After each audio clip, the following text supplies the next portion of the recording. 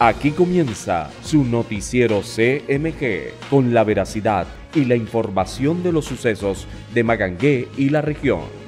Acerca de la ley 1581 de 2012 que dice que las empresas públicos o privadas deben inscribir su base de datos en la Superintendencia de Industria y Comercio, el representante de la Cámara de Comercio en Magangué se pronuncia. En el día de ayer, el noticiero CMG dio a conocer que hasta el 8 de noviembre tienen plazo las empresas públicas y privadas, cualquiera persona natural y jurídica que debe inscribir en la Superintendencia de Industria y Comercio cualquier tipo de base de datos según lo dictamina la Ley 1581 del 2012. Los comerciantes presentaron algunas quejas frente al hecho que no se les ha informado sobre la ley y que además la mayoría de los negocios que están registrados en la Cámara de Comercio de Magangué están atrasados en este proceso. Al respecto, se consultó a Henry Borré, director de la Cámara de Comercio, quien menciona que se les hizo llegar un correo electrónico dando esta información. Bueno, precisamente en el día de hoy se está realizando en la Cámara de Comercio un foro o seminario eh, para todas las empresas para que eh, conozcan el tema y vean cómo se va a hacer hacia el futuro eh, el registro de base de datos.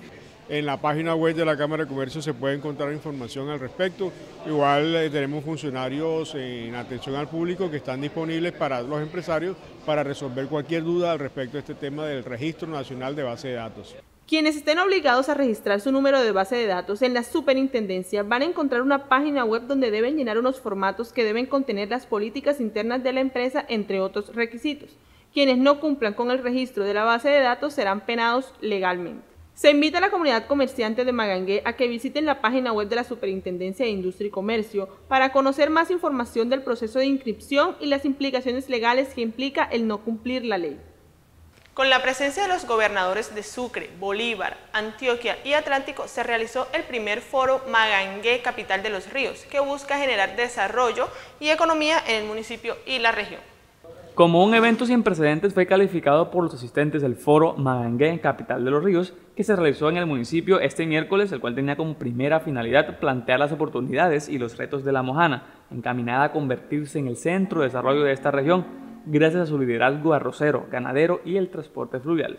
En el foro organizado por Foro Semana estuvo presente la gobernación de Bolívar, Impala y participaron algunos funcionarios del gobierno nacional y local.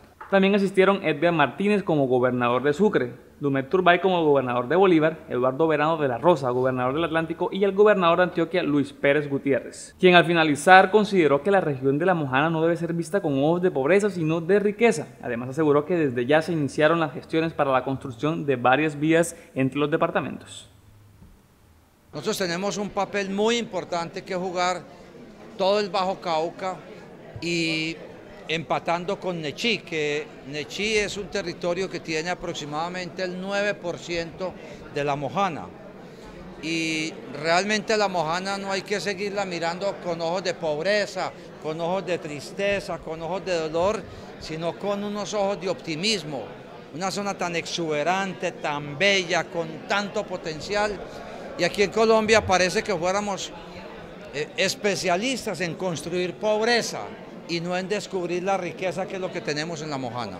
Comprometerme a trabajar en que logremos avanzar en la vía Majagual-Achí, que eso le corresponde al gobernador de Bolívar, ha dicho que la va a hacer. Nosotros nos vamos a comprometer en, desde Nechí, a mano derecha llegar a Chi y a mano izquierda llegar a Caucasia.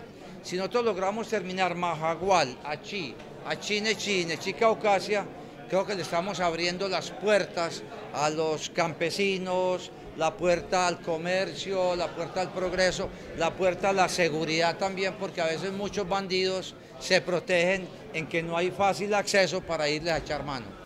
El ViveLab se tendrá finalmente para el mes de enero, así lo dio a conocer la directora de Desarrollo Económico de la Gobernación. Luego de ocho meses en construcción del Laboratorio de Contenidos Digitales, la obra sigue presentando demoras en su entrega, ya que estaba previsto para el mes de agosto. El objetivo de este laboratorio es brindar herramientas de entretenimiento y emprendimiento a la comunidad magangueleña, de igual forma que desarrollen contenidos digitales para el fortalecimiento de las TIC y para las MIPIMES de la región. La directora de Desarrollo Económico de la Gobernación de Bolívar menciona que este trabajo sí ha presentado demoras. Al parecer, la entrega será finalmente en el mes de enero.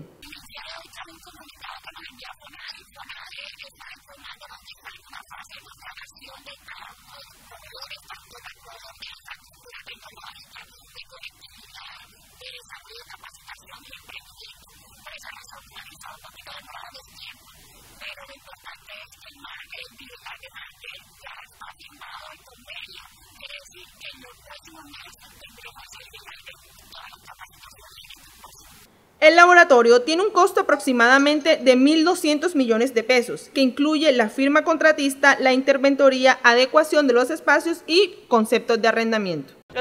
Se inicia en Magangué la etapa pedagógica de las operaciones de la Policía de Tránsito. Diez uniformados serán los encargados de realizar esta operación. El decreto que abre las puertas a las operaciones de la Policía de Tránsito en Magangué inició hoy. Luego de esperar 10 meses por las etapas pedagógicas, esta semana la comunidad magangueleña se enfrenta al cambio que representa la Policía de Tránsito.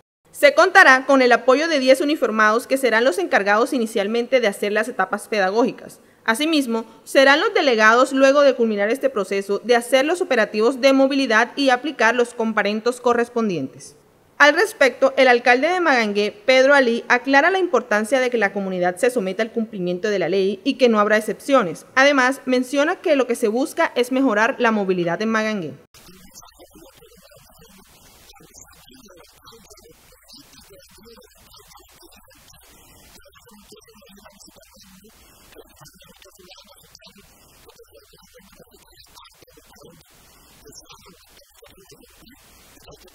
Este convenio fue registrado por un total de 198 millones de pesos, cifra que dará vigencia a siete meses de operativos de movilidad que ayuden al progreso del municipio.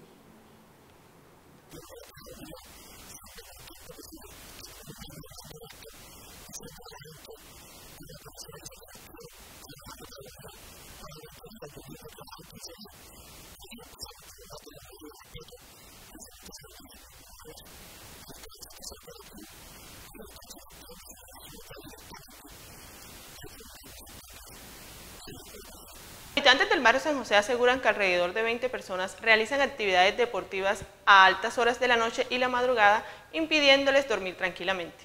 Una particular situación ha sido denunciada por parte de los habitantes del barrio San José. Varias personas de este sector aseguran que en horas de la noche y la madrugada, más de 20 personas juegan microfútbol en la cancha de la institución, perturbando el sueño a quienes viven en sus alrededores. Según Carlos Alberto Ruz, habitante de este sector, esta problemática ya se les está saliendo de las manos, pues todos los días deben soportar los fuertes sonidos que según los habitantes estos jóvenes generan, normalmente en horas de la madrugada. aquí tenemos en este, en este sector de aquí una problemática en las horas nocturnas, que hay unos individuos que vienen que no sé si no tendrán oficio o no tendrán eh, o serán los personajes de la calle que vienen toda la noche, estilo 10 de la noche hasta las 3 de la mañana, parece que un horario bien, que no es competente para jugar fútbol en la cancha. Y hacen unos escándalos que da miedo ahí todos los días. Por su parte, Ana Felicia Fuentes Martínez le pide a las autoridades municipales que controlen esta situación, teniendo en cuenta que no pueden dormir en la madrugada. Le agradezco que vengan a solucionar ese problema, a ver porque la verdad es que nunca nos había sucedido. Bueno, que pongan una fiesta todavía, pero eso en la en cualquier día, pues un viernes, pues, no, eso no es así. Vienes a perturbarnos el sueño. Este medio se comunicó con Miguel Arce, rector de la institución educativa San José número 1, quien aseguró que esta cancha es propiedad de la comunidad, por lo que no puede ser encerrada. El rector afirmó que la Junta de Acción Comunal nunca ha tenido recursos, ni mucho menos la disposición, para hacerle mantenimiento o reparación a las mismas. En video quedó registrado el momento en que una persona enfurecida cortó árboles frutales en los barrios de Córdoba y Versalles. Y este es un caso que solo pasa en Magangué. En un video grabado por un habitante del barrio Versalles quedó registrado el momento en que una persona, al parecer enfurecida, cortó los árboles frutales que había sembrado la comunidad desde hace varios años. Como se observa en las imágenes, el hombre con machete en mano cortó varios de estos árboles, entre ellos algunos de mango, los cuales eran cuidados por los moradores del barrio Versalles. Según la comunidad, hasta el lugar llegó el hijo del señor, quien en vez de detenerlo, lo ayudó a cortar más árboles. Según el denunciante que nos hizo llegar estas imágenes, hasta el lugar llegaron varios agentes de la policía, quienes detuvieron al señor y al hijo. Testigos aseguraron que al parecer esta persona se encontraba bajo los efectos del alcohol. La buceta que transporta a los estudiantes del corregimiento de San Rafael de Cortina a Magangué quedó atascada en el lodo debido a las últimas lluvias registradas estos últimos días.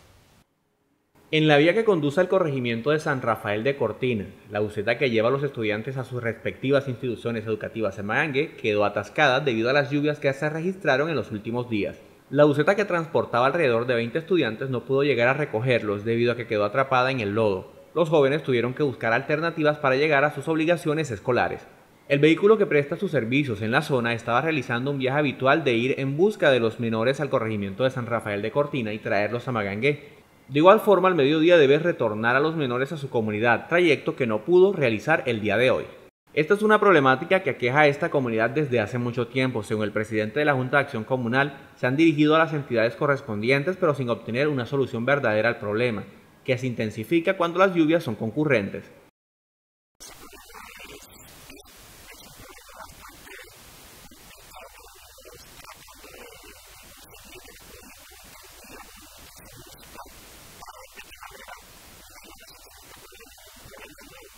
Además, requieren más apoyo de la alcaldía municipal, pues mencionan que el abandono es cada vez más, así lo dio a conocer el edil.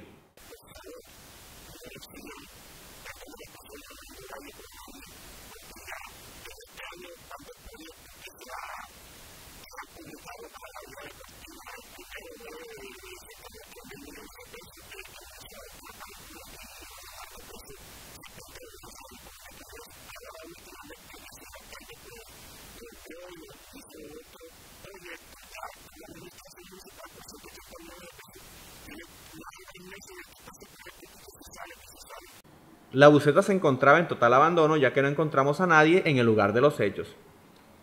Para el mes de noviembre, los alimentos de la canasta familiar como las frutas y las verduras tendrán bajos costos. Así lo dio a conocer el Departamento Administrativo Nacional de Estadística. Para el mes de noviembre se puede encontrar en la plaza de Mercado Baracoa un declive en los precios de las frutas y verduras favoreciendo a los consumidores de la canasta familiar.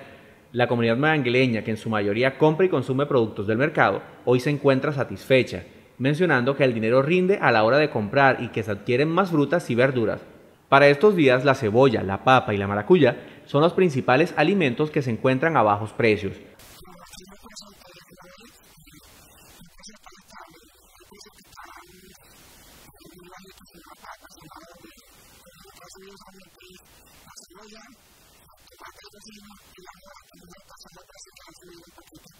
Asimismo, alimentos como el tomate y las moras han aumentado un poco el precio. Al respecto, Jason Vides, vendedor de verduras, menciona que los precios están estables.